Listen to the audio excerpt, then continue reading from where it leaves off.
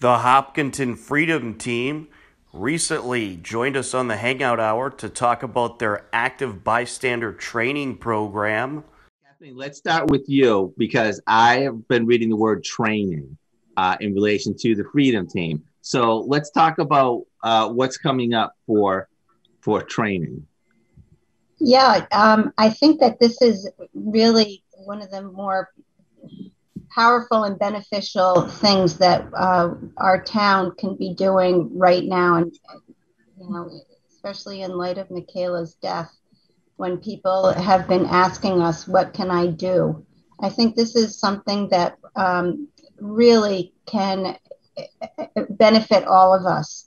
Um, it can not only empower us to be able to act as an active bystander when we witness or are the target of some sort of bias, um, but we can also stand up for others and we can also learn to listen very deeply and um, show much greater understanding and empathy and try to repair some of the division that has been occurring in our community for a very long time. Okay, let's let's start with that because I've actually heard that phrase before. But in case someone hasn't, there's an what is the definition of an active bystander? Anyone? Um, yeah, anyone can answer that one. All right, Sarah, you want to jump in on that? Uh huh.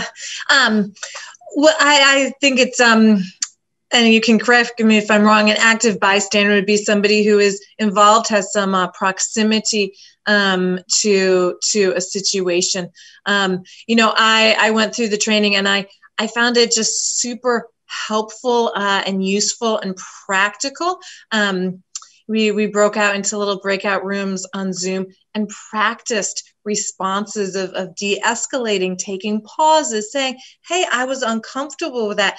Um, they let you uh, figure out kind of what your preferred verbiage is for for saying things. Um, and it's just super helpful because you you you think how many moments in life have we been in where you think oh man if i could just rewind i would do it different?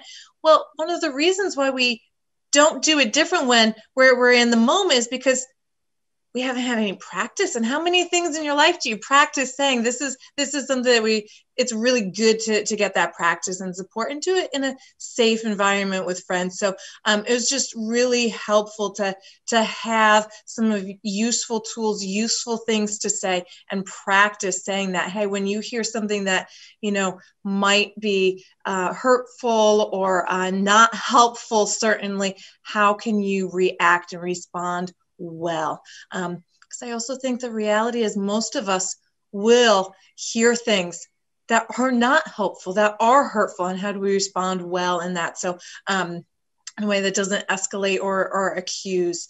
Um, so, and honestly, the training was also fun. It was fun to talk to other people. Um, they had great situations and scenarios um, that came from uh, the community. So, um, I, I that's that's my perspective on being part of the training. It was great, um, and a very quick answer to your uh, question about what a uh, active bystander is. The next session of the active bystander training program will take place on June 16th at 5:30 p.m.